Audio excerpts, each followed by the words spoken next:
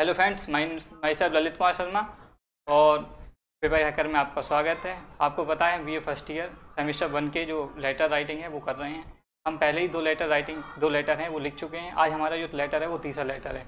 तीसरा लेटर हमारा जो है, वो अपने पिताजी को अपने फ्यूचर के प्लान के बारे में बताते हुए एक पत्र लिखना है कि हम अपने फ्यूचर में क्या करेंगे। तो देखते हैं। राइट ए लेटर एक एक लेटर टू योर फादर अपने पिताजी को गिविंग योर व्यूज़ अपने व्यूज़ देते हुए about about the career you are going to choose जो आप चुनने वाले हैं, ठीक है?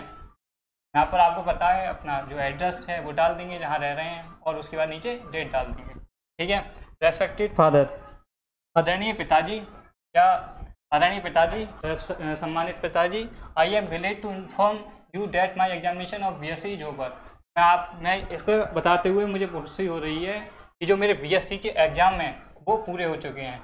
एंड अभी I am sure to get अस्सी परसेंट मार्क मुझे पूर्ण रूप से आशा है कि मैं अस्सी परसेंट मार्क इस बार प्राप्त करूँगा। ना अभी I am serious thinking about my future अभी मैं अपने जो भविष्य के बारे में है, वो गंभीरता से सोच रहा हूँ। I am not interested in post graduation मैं जो पढ़ाई स्नातक की जो शिक्षा है, उसमें करने में बिल्कुल भी इंटरेस्टेड नहीं हूँ, ठीक है? इंसीटेड इसके बजाय आई बेस्ट मैं to join coaching classes for preparing for competitive exam है प्रतियोगी, इसके बजाय मैं प्रतियोगी परीक्षाओं की जो तैयारी करना चाहता हूँ, ठीक है? और उसके लिए मैं कोचिंग ज्वाइन करना चाहता हूँ। I have had a dream to become an I A S officer since my high school days जब मैं हाई स्कूल के दिनों में था, तब से ही मेरा एक ड्रीम था कि मैं आई ए एस बनूँ। तो इसीलिए आई हैव डिसाइडेड मैंने निश्चय किया है to study very hard and devote मैंने ये निश्चय किया है, मैं एक बहुत ही कठिन स्टडी करूँ यानी कि पढ़ाई करूँ। Devote all my time and energy मैं अपना सब समय और ऊर्जा टू दिस डिफ़िकल्ट टास्क मैं अपना पूरी ऊर्जा और जो समय है, वो इस डिफ़िकल्ट टास्क जो कठिन टास्क है, उसको पूरा करने में लगा रहा हूँ। I am swear to fulfil my dream मैं, मुझे आशा है, मैं अपनी जो ड्रीम मेरी जो सपने हैं, उन्हें पूरा करूँगा by dint of hard work कठिन परिश्रम से एंड गॉड गेस और भगवान की भगवान की उससे क्या बोल सकते हैं, ग्रेस को हम कह सकते हैं कि भगवान के जो आशीर्वाद से, ठीक है? I shall also need your approval मुझे इसके लिए आपकी आज्ञा की आवश्यकता होगी।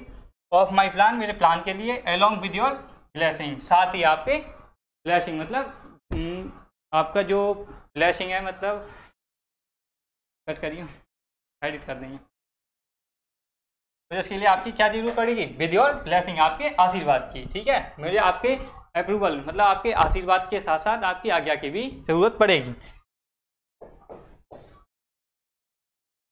जैसा कि I have to work very hard for this task मैं इस टास्क के लिए बहुत ही ज़्यादा कठिन परिश्रम कर रहा हूँ। I shall not be coming to home मैं इस, मैं घर नहीं आऊँगा। ड्यूरिंग समर वैकेशन जो कि हमारी गर्मियों की छुट्टियों के दौरान मैं घर नहीं आऊँगा। Kindly forgive me for this कृपया मुझे इसके लिए क्षमा करें। विथ रिगार्ड्स टू मदर्स माता जी को मेरा प्रणाम कहना and love to younger sister और छोटी बहन को मेरा प्यार देना, ठीक है? और अफेक्शनेसली इसकी जगह, ये जो पर्द है, इसकी जगह आप your loving daughter your loving son वगैरह लिख सकते हैं, ठीक है? इसकी जगह जो कठिन वर्ड है, इसे छोड़ दें। इसकी यहाँ पर सौरभ गुप्ता की जगह आप अपना नाम डाल दें, ठीक है? ये आपको बता भी है। तो उम्मीद है आपको ये दूसरा लेटर भी, तीसरा लेटर भी आपको समझ में आया होगा। अगर आपको ये अच्छा लगा हो तो हमारे चैनल कृपया लाइक कर दें।